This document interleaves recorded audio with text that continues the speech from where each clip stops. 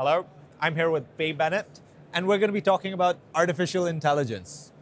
AI it's become really trendy. There's ChatGPT, Microsoft is investing, China's throwing its hat in the ring. But I want to ask you is there any relevance for AI when we're looking at it through the lens of AV? Yes, well, look, absolutely. You know, we work in a technological world. You know, we know from our own industry that things move so fast in terms of changes and, and technology. And, you know, this is something that's come along, and, and yes, absolutely, it will impact our industry.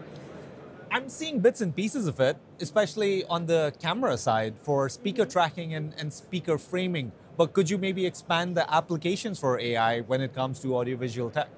Well, I think it's transferable. You know, I think there's lots of capabilities of it, and I think we're really just looking at the tip of the iceberg at the moment. I mean, what's really relevant for, for what we do in the industry is, you know, how AI works with, with services. You know, so we've seen for some time um, service operations using artificial intelligence to get synergies and efficiencies and operational leanness in organizations. You know, and I don't think that's going to be any different. In fact, I think ChatGPT is going to take that to the next level.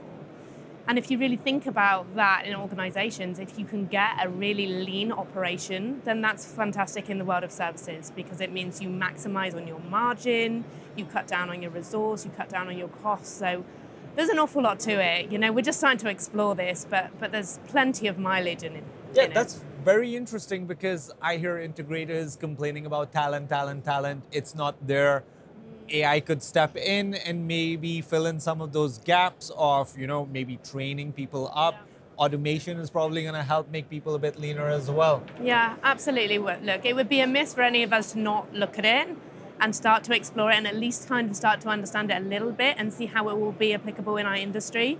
I think you know that's going to come to light more and more as we as we look into it. But you know we're a tech industry. Why would we not look at this this amazing new resource or technology and understand what it can do and how it can really help us keep our businesses relevant and and at the very you know cutting edge technology.